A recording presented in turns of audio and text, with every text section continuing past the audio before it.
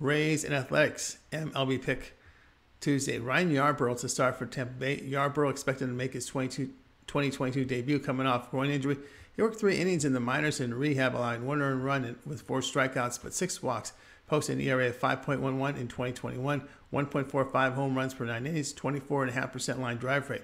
Paul Blackburn to start for Oakland. Blackburn in four starts allowed three earned runs and 20 innings of work. Strikeouts up to a 25%. Good control. 56% ground ball rate. Rays have won six of nine with their 6 1 win on Monday.